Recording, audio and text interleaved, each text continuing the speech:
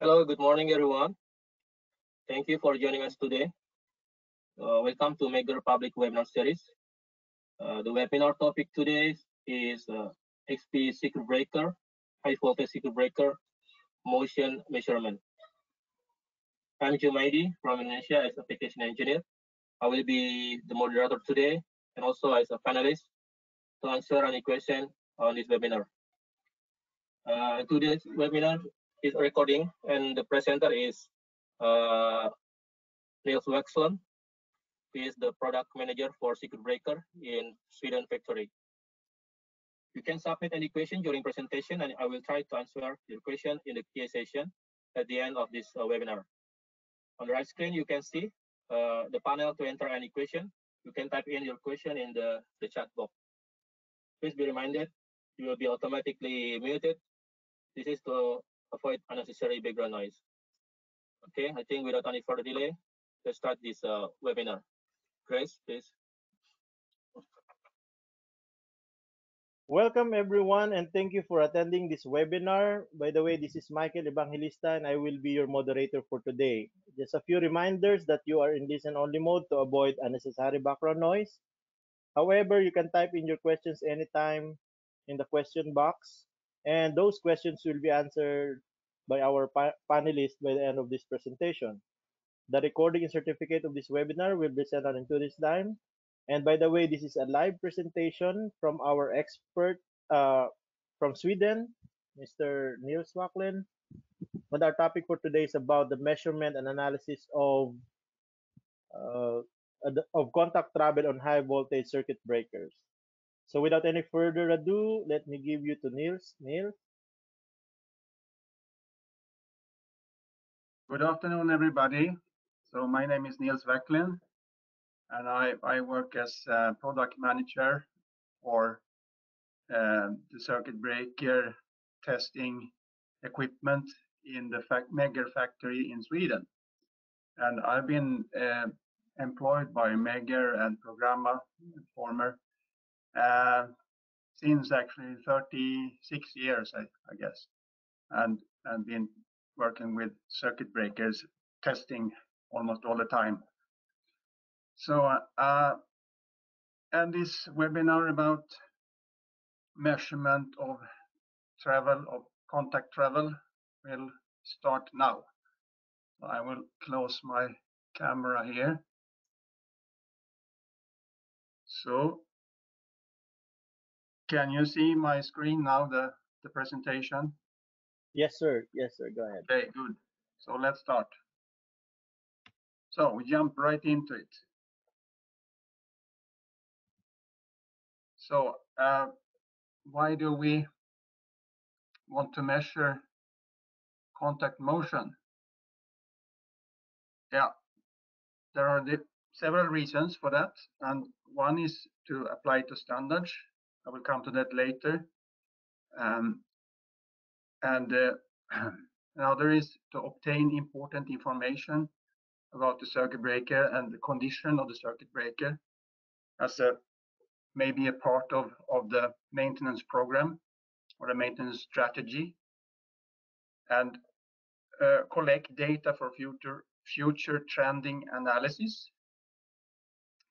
Uh, and that is something you do uh, preferably in, in the beginning at the commissioning so you have something to compare with and to see to trend against um, and um, maybe the most uh, important thing is to discover potential problems uh, at an early stage in order to prevent serious damage.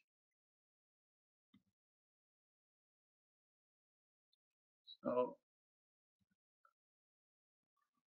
so uh, talk a little bit about, about the parameters that you can derive from the contact motion measurement.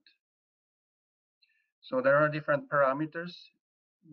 I'm just um, mention some of them here. Stroke length, uh, the velocity, contact velocity, closing and open speed, uh, contact penetration, it's named wiping sometimes, Um, um, that is made also uh, in combination with contact timing to obtain. I will explain all these parameters later. Arcing contact length in combination with dynamic contact resistance measurement. And we have also damping characteristics, um, which can be defined in different ways. And the problems that can be really revealed with contact motion measurement. Actually, do, is my screen switching now or not? Actually, it's not switching, sir. Sorry. Okay. I don't know. So I, I'm a little bit confused here because let's see again. It was working before. Hmm. Sorry for this.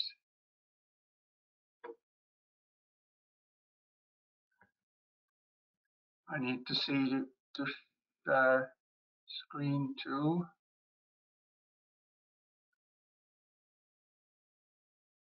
It's not coming along.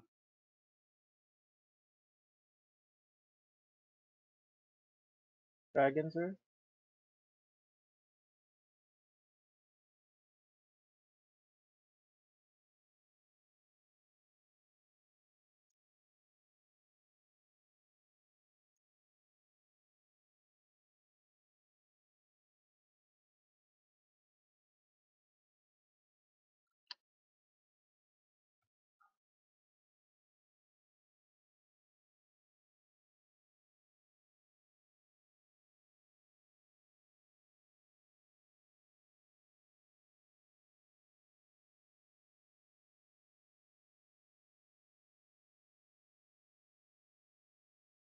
We can see the uh, front page.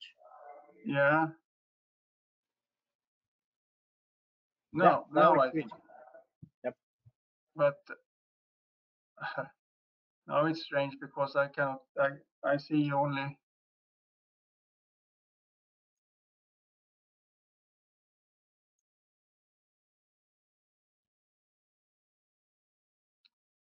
Okay, we we will try in that way. For me, it's a little bit strange because I need to look at another screen now. Uh, perhaps.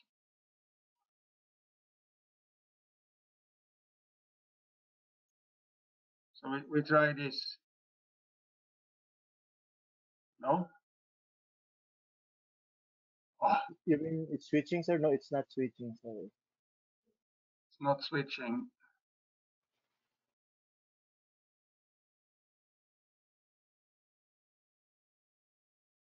Something is wrong here with, and when we tested before, it was working. Uh, I'm very, very sorry. Where is it? Yeah, you can fix it.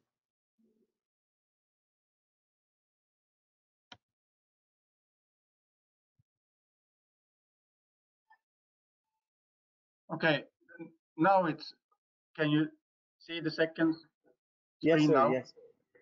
Okay. Yes. yes. Now, now it seems to to to be okay. Yep. Um, okay, I I already talked about this screen. Uh, and here now on. Okay, I need to look at my second screen. Uh, so the okay, this was also finished. So what kind of um, problems can you reveal with contact motion measurement. Yeah, of course, if, since you're measuring stroke, you can see incorrect stroke. Um, you can see if the close or open velocity differs from, from your reference values or from the specified values from the manufacturer. And that could be due to wrong adjustment or other problems like springs, lubrication pressure, etc. And uh, another thing you can reveal is excessive arcing contact wear, um, uh, lack of close and open damping. That's a very serious uh, thing with a circuit breaker that can make it um, make a big damage, mechanical damage, if if it, it continues and get worse and worse. Um, another thing is too early damping, uh, which will cause that the velocity in the arcing zone becomes too low, and then uh, the conditions to, to extinguish the arc is not according to, to the, what the manufacturer specifies. There could be also a problem with rebound, rebouncing contacts at, at both close and open, and re, uh, which can cause then at opening restrike of the arc. It can also lead to exploded breaker in that case, because when when you have a this situation, there is no energy left to extinguish the arc if the breaker is already open. I will explain a little bit in the graph later. Uh, and other anomalies in the motion curve shape. So here we have the, oh, I cannot point because it's on the second screen. This, this, okay, I have to try to get this working because I need I need the pointer.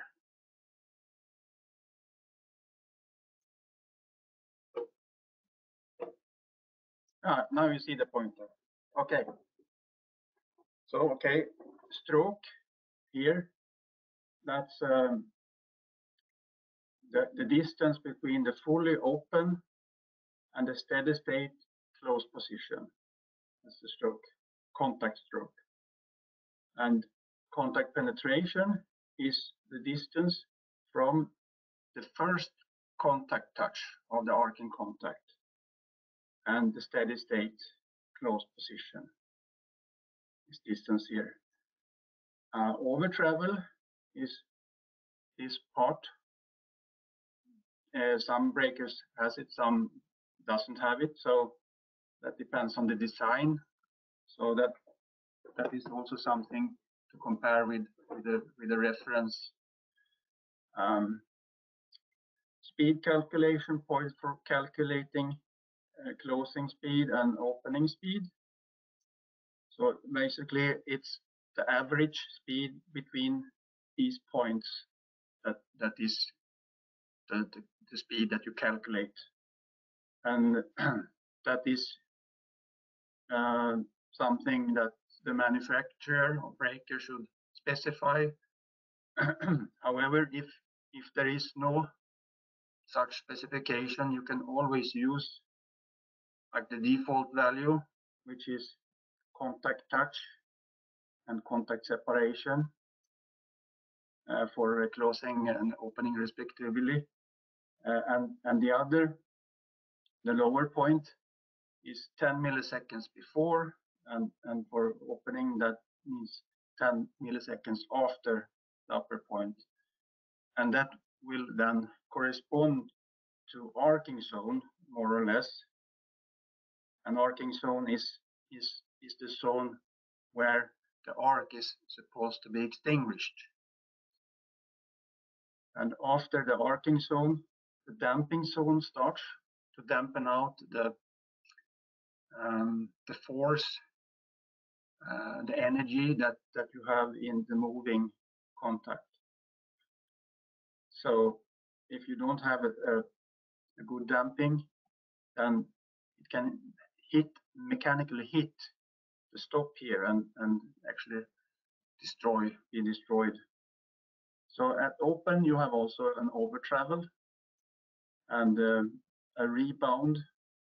And what I told about rebound before. If this rebound goes longer up, you have a bigger bound here, then it's a risk that the contacts come too close to each other and you get the restrike of the arc. And that is a dangerous condition because then it will be a standing arc that will cause the breaker to explode. Um, and uh, for at the close state, you can also have a rebound, meaning that the curve goes down.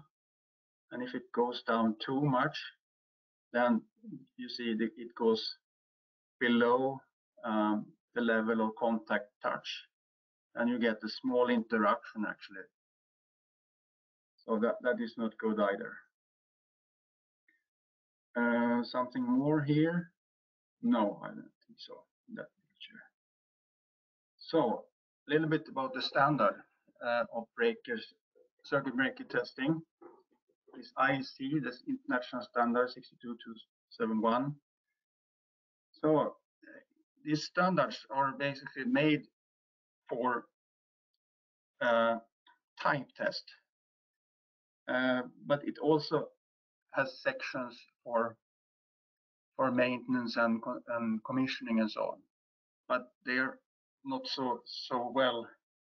Uh, it's not so much written in those ones. The, the biggest part is type test and routine test for circuit breaker manufacturers. But however, uh, it, it's a good uh, reference and um, yeah what does it say about motion measurement it, it doesn't really say this uh, by the way section 10 is about uh, commissioning and, and and maintenance and so on. So it refers to section 7 that is um, the routine test in factory. So and motion is not uh, it does it's not uh, mandatory uh, in in in the standard.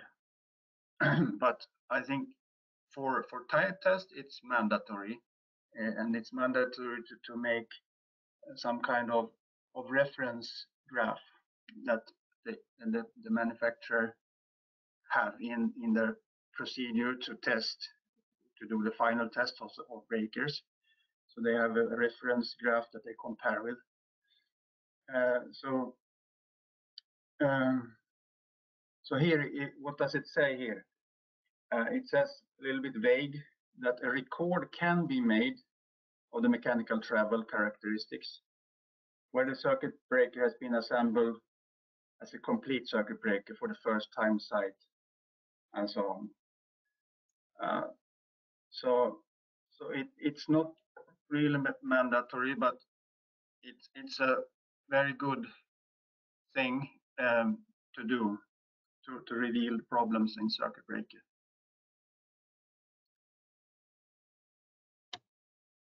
And, and if we read what what's uh, this section 7, which is for the routine test in, in the factory, um, then it says that yeah, if the measurement, the, the routine test done, meaning the routine test, is performed on site, the manufacturer shall state the preferred measuring procedure. So this this is important. Oh, sorry, this is uh, important, I think, because this means actually that manufacturers they they have a responsibility to to do this um, for customers uh, to, to, to explain how to do the motion measurement. So especially for, for buyers of circuit breakers, they can put requirements on the manufacturer to, to, to get reference graphs, to, to get instructions how to, to connect transducers and so on. And then, then you, they can even refer to, to this standard and say, this is how, how it says. So that it's important to know. So, and what does it say more here? The mechanical travel characteristics can be recorded directly using a travel transducer or similar device on the circuit breaker contact system or at another convenient location on the drive. Oh, sorry. Um, on the drive to the contact system where there is a direct connection and the representative image of the contact stroke can be achieved. And then it says also that mechanical travel characteristics shall be preferable uh, a continuous curve shown in figure 23. So that the 23 is this kind of idealized uh, curve for a so this is something in the yeah how the standard describes how travel motion is done. So we go on here um, so I, now I, I, will go into more practically uh, how how to do this and different methods uh, of of um, uh, travel motion measurement. So so di different first different ways to attach the transducer. So one is direct to moving contact or its operating rod with linear movement.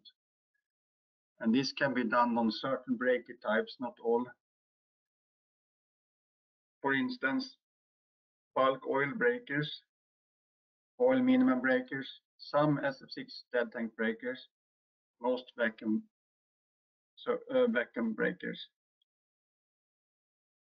And um, second one is direct to moving contact with angular movement. This this is a kind of special desi design of circuit breaker. I have a picture of that I will show later. But the moving contact is actually as a rotating um, motion. So, so that one you can measure with the angular movement. Um, then you can do indirect attachment with linear movement. Uh, for example, on operating rod at driving mechanism, and indirect attachment with an angular movement. Uh, for example, on gear between operating rod and breaker column. I have pictures of all of these I will show. This is the first example. This is a bulk oil breaker with huge tank here filled with oil. Um, up on the top here, that's where the transducer is connected or attached. And on the top here, there is a small uh, lid you can open and, and you can put a rod in that lid, a threaded rod, and screw that rod directly into the main contact which is down here. So in this case, you have a direct connection between transducer and main contact. So you see here the, the enlargement of, of the transducer and the, the rod here going down in this big tank. Next example was with the oil minimum breaker. This is an old um, medium voltage breaker. So it's the same principle actually, uh, but here you, yeah, there, there is also a hole here in the top and you, you can put the rod down in that hole and, and there are threads in the main contact. So this is a one-to-one -one measurement of the contact motion. Next example, this is the dead tank breaker with indirect linear measurement.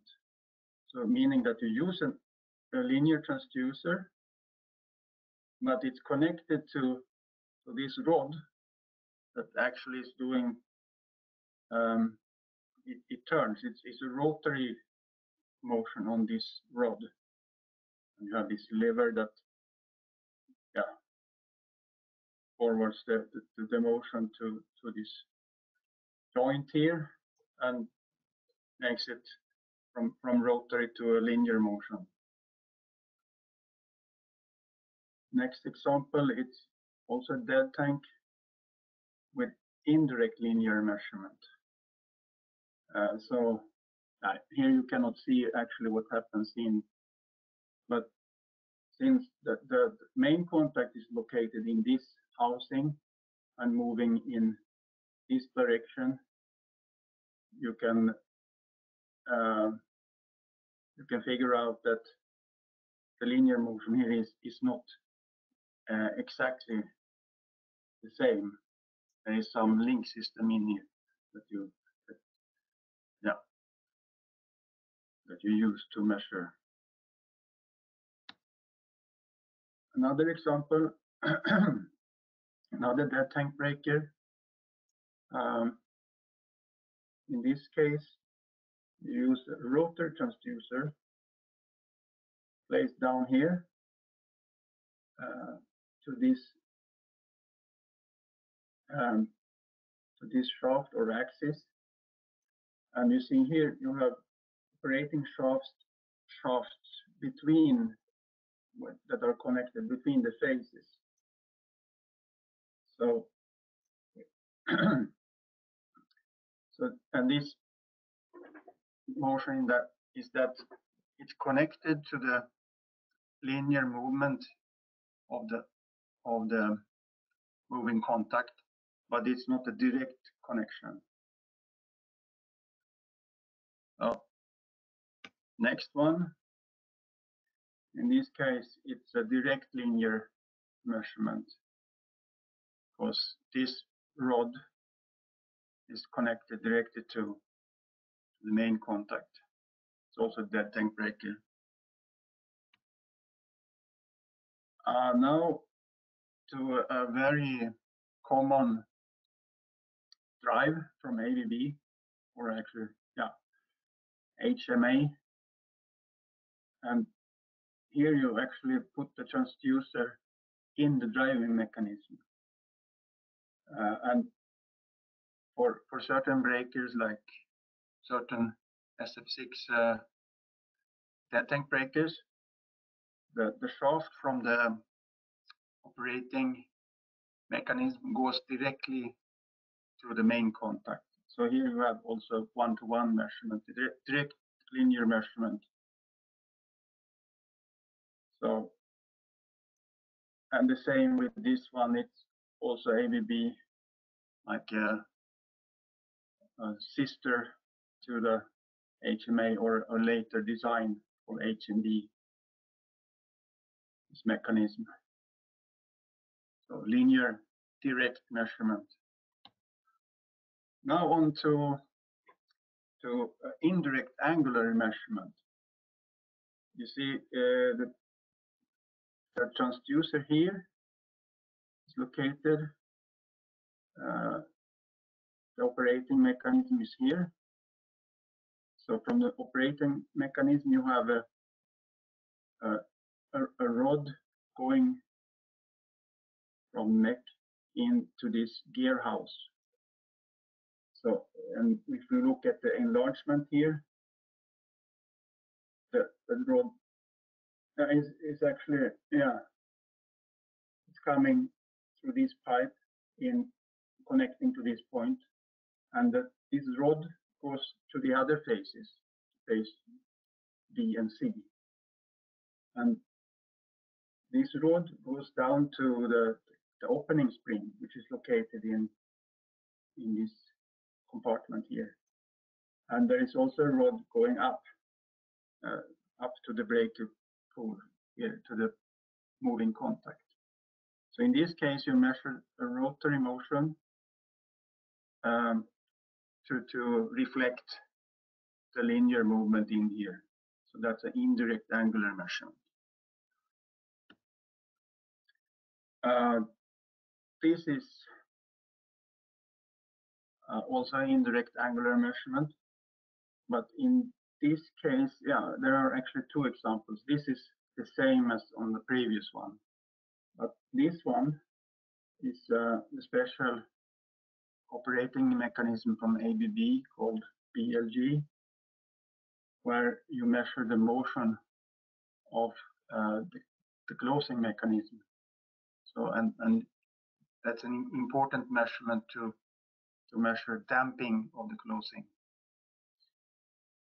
So, and this this uh, part makes uh, Uh, a one turn 360 degrees for each close operation.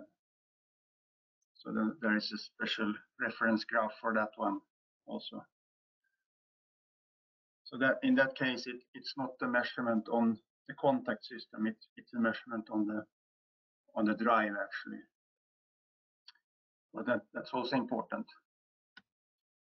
So what are the uh, advantages with uh, direct attachment? Yeah, uh, the measured quantity is the real stroke of the moving contact. Means that you have a one-to-one -one relationship between the movement of the transducer and the movement of the of the contact. Uh, so there are no conversion factors, tables needed, and so on. And motion is clean, undistorted from by gears, mechanical play, or or and so on, torsion, operating rods, etc. So, um, and yeah, as a result of, of that, at a direct attachment, you can also do absolute measurement. That means that one millimeter at the transducer corresponds to one millimeter at the contact as well. So why, why don't you do this all the time then? No, because it's not possible for all breaker types. It's the opposite almost, that it's, it's a small part of the installed base of breakers that you can make uh, a direct connection to the main contact on. So, so because there is no access to the breaker chamber, uh, due to that is it's under SF6 pressure or it can be vacuum or whatever, uh, or so on, and or GIS. You know, you, you cannot reach the the moving parts inside. Um, so,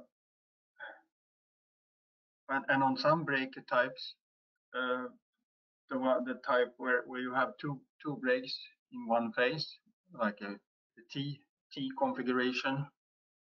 Um, then there is a small gear also uh, between the the two breaking chambers at the top. So so even if you could measure uh, on the on the pull rod that you have in the column, uh, it's not exactly the same movement that you have at the contacts. So it, it's a little bit complex.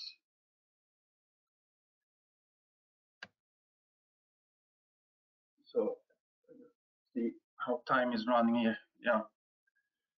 Um, so different options of indirect motion measurement.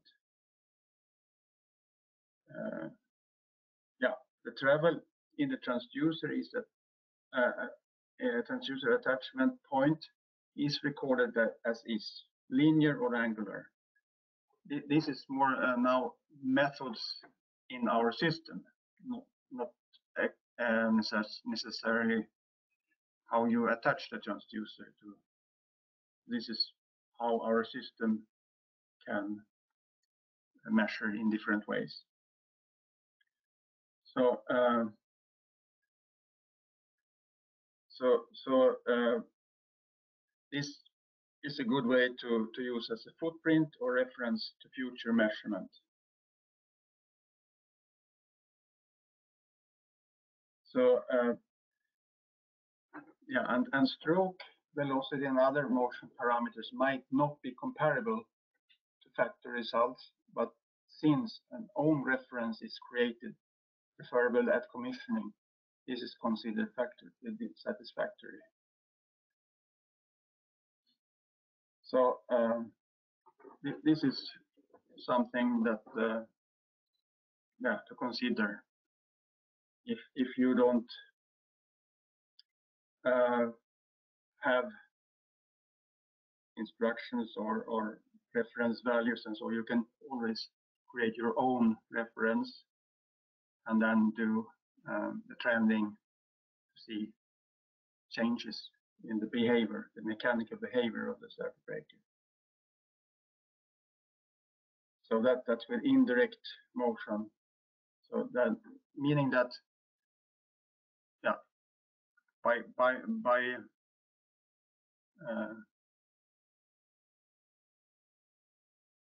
yeah uh, it, it's uh, implicit that with indirect motion that the motion is not exactly the same as measuring direct at the contact. So that's why your, your value cannot be compared exactly with, with the reference values for, from a manufacturer. Um, and and the, another option is to measure travel in the in the transducer attachment point, linear or angular, and then you can convert the travel by means of a conversion table. So that that can be uh, one way to to to uh, uh, kind of to create the correct comparable uh, graph comparable to to the factory results. You you, buy buy a conversion table and so you can recreate the real travel motion. And and in that case you can compare all parameters. So here are the different measurement op options in, in the in our system, measurement system. And I will explain them one by one later. And absolute measurement, the transducer is reference. As, as I said, that one millimeter at the transducer, uh, at the at the contact is one millimeter at the transducer. And you can have both angular and linear transducer in this case, and then it will be presented in the same quantity. Uh, and the second one, absolute measurement with linear conversion factor. That's the same presentation in distance and angle. Um, next, absolute measurement with conversion table. In this case, it's only distance as presentation quantity, what you see on screen. So what you actually do is you convert an angular uh, curve to a linear curve or linear movement. Relative measurement. This is interesting. The nominal stroke is reference. And the presentation quanti quantity is only distance, like only millimeters, regardless if you're using a rotary or a linear transducer. So now, uh, more explanation for each one of these that I listed. So absolute measurement, the contact mo movement is equal to the transducer's movement the transducer has to be thoroughly calibrated as it is the reference for the measurement. That's, that's important. Uh, the electrical length or angular span of the transducer is the calibration quantity. Uh, so it's independent of the measurement channel's reference voltage. For instance, if you would switch between different instruments like the TM 1700 or or or or, or EGIL, which has different reference voltage, you can still use the same transducer calibration. Uh, the measurement instrument will establish a scale factor, which can be calculated in this way. Transducer's electrical length or angular span divided by the reference voltage. So that that scale will have the, the unit millimeter per volt. This is perhaps a little bit too much information, but uh, anyway, uh, absolute measurement with linear conversion factor. Uh, in this case, you do the, the, the measurement according to the absolute method. But in this case, you multiply the scale factor with the conversion factor. Um, so, and the results are shown in the same quantity as measured.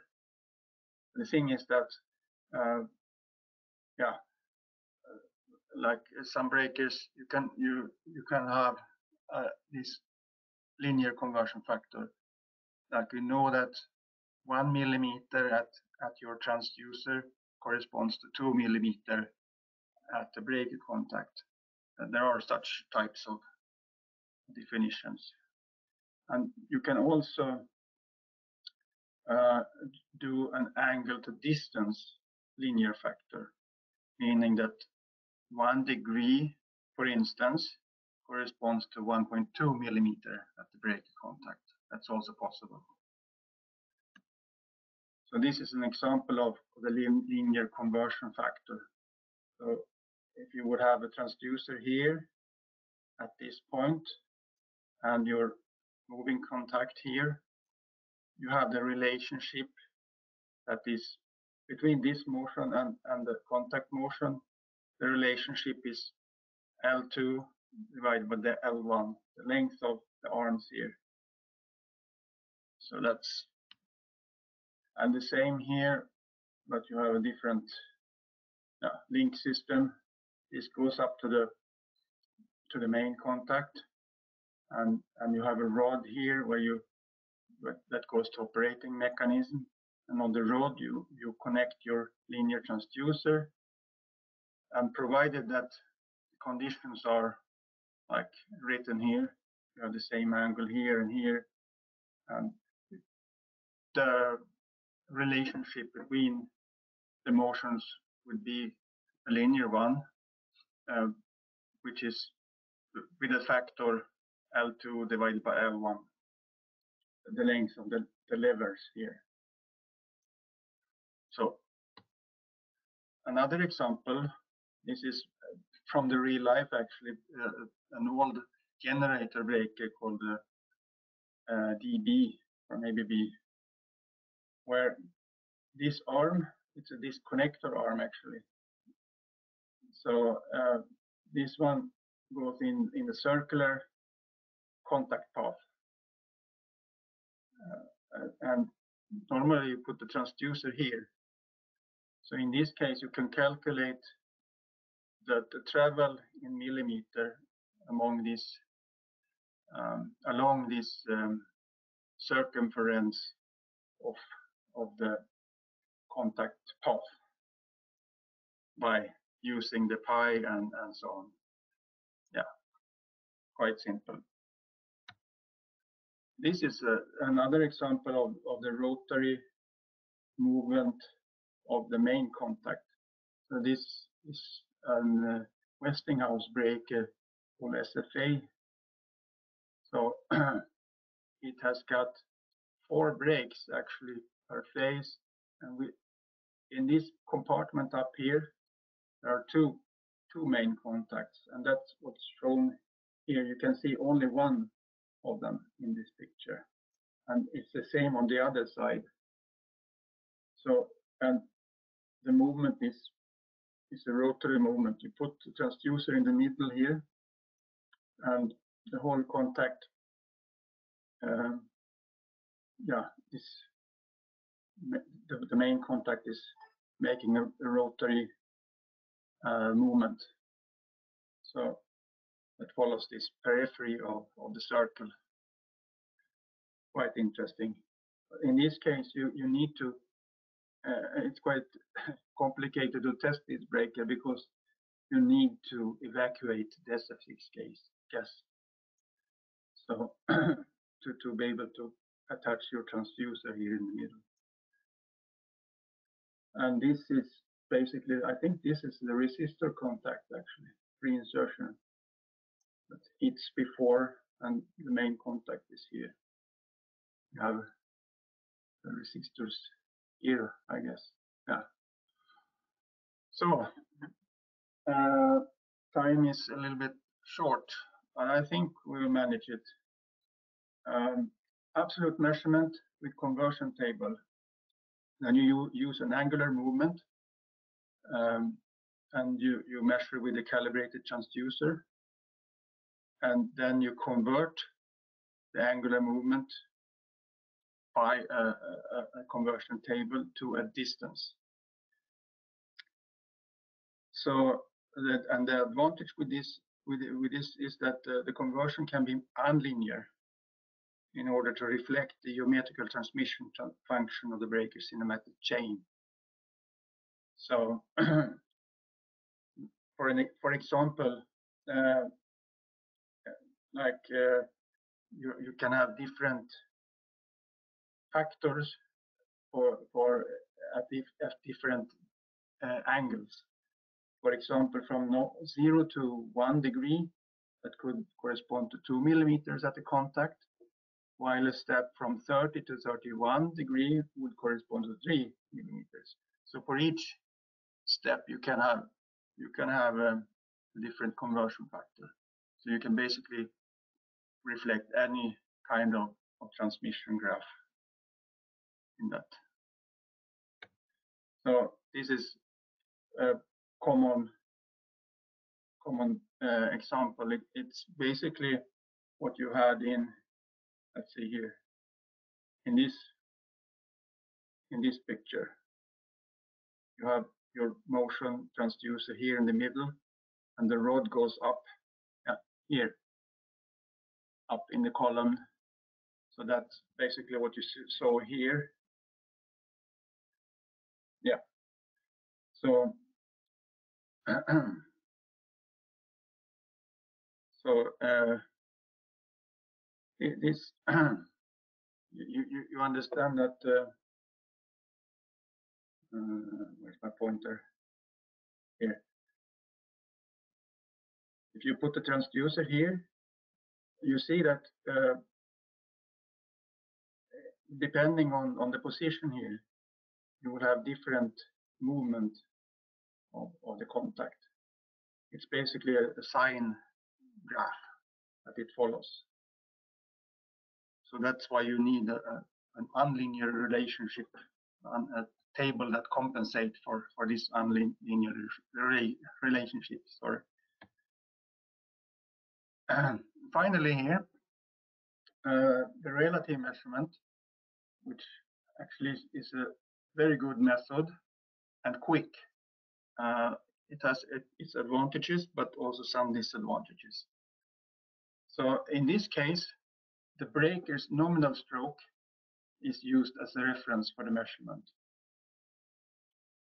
Uh, and I will explain how that works. So in the first recording session, the scale factor is established. And it takes the nominal stroke, which is the, stroke that you put in uh, in the your breaker definition in the software and divides with the difference in voltage you have between the closed position of the breaker and the open position. And then it established this scale factor millimeter per volt.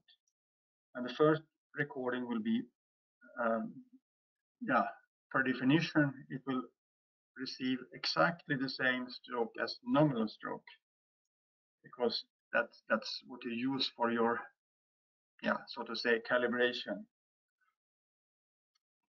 and uh, the scale is maintained throughout the, the, recording session so so you can see uh, changes and fluctuations in stroke but yeah so this is the, the advantage these are the advantages quick and easy to set up uh, no need of transducer calibration. You can use an uncalibrated transducer and no need of transducer selection even. And it doesn't care if it's a linear or, or a rotary transducer, both can be used. And it's perfect in most cases to use as a footprint uh, for future comparison and trending analysis.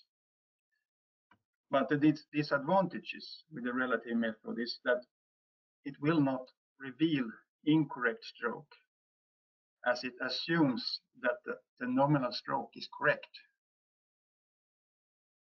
The first recording will always be exactly as the stroke you have put as as nominal stroke, regardless if, if the, the real stroke is only 50% of that. So, so that's a that's a, that's a disadvantage with this method. Um, uh, yeah, and depending on on the transducer attachment point and its mechanical relation to the moving contact, uh, then the the parameters like motion uh, related parameters, velocity, penetration, and so on, they, they will not be exactly as the factory uh, reference values. So that, that can be explained in this graph. Uh, this is uh, actually, like if you do this example with the transducer here and compare to the movement here, so if you move uh, that wheel, the transducer, now it's 180 degrees, it's too much, but let's say we, we move it 90 degrees.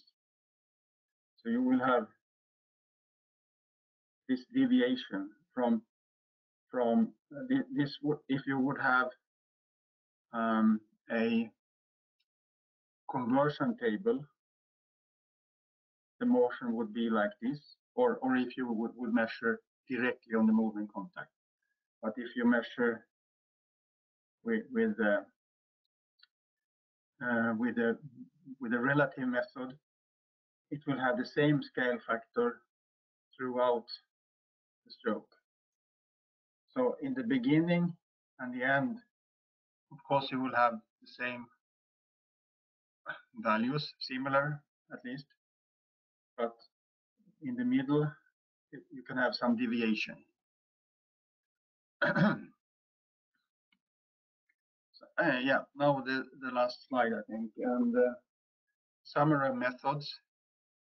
So I divided this in attachment, way of, of attachments mechanically to, to the breaker. You have direct and indirect attachment of the transducer and the trans transducer type, linear and angular, and the applicable methods in our software, and so on. So, so for direct attachment, you can use both linear and angular. You can you can do absolute measurement. Uh, and you can do also with factor and conversion table for angular only. Uh, and the indirect uh, attachment of transducer, yeah, you can use the absolute with factor and, and, and relative, of course, and absolute measurement also for angular and factory factor absolute with factor um, conversion table and relative measurement. So the and and examples here you see for for the for for the relative it, it says footprint here. Uh, you can do that both with the linear transducer relative and angular transducer relative. That's made footprint uh, measurements. I I didn't mention here, but also some of, of these other measurement here with indirect um, indirect connection of transducer. That should also be footprints. Uh, if you don't have like a factor that is that is uh, like specified by the by the manufacturer or conversion table or so. Okay, I think that that was the last slide. So we have a few minutes. I can stay longer if, if we need also. Thank you so much, sir, for that wonderful presentation. So, You're welcome. guys, we, we are now open for any questions that you may have. Please type in in the chat box or um, you can raise your hand if you want to, then we will unmute you if you have a question.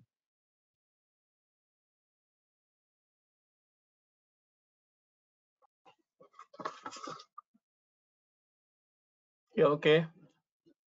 Because so far no no question in the chat box. When I see, I will give more time, maybe one or two minutes, to uh, everyone. If still have uh, any question, if you want to chat, please. Yeah, uh, for the presentation and recording will be shared to the all attendees uh, within 12 days uh, by email. Uh,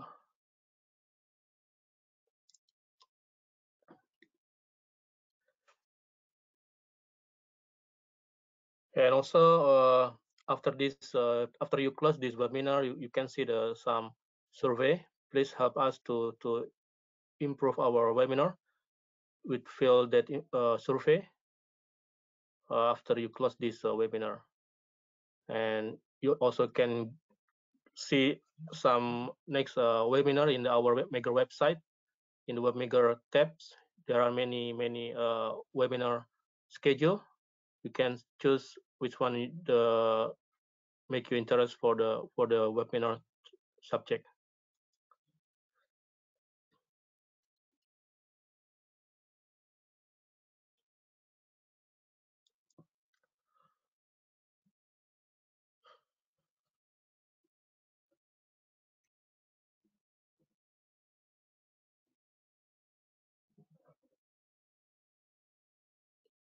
Okay, Grace. Looks like no questions so far. Yes. Uh, maybe we can close this webinar. So everyone, if still have any question after this, you can send email to me. Uh, I will write the, my email after this. Uh, uh, you can ask any question reg regarding to the circuit breaker testing. Uh, just a moment.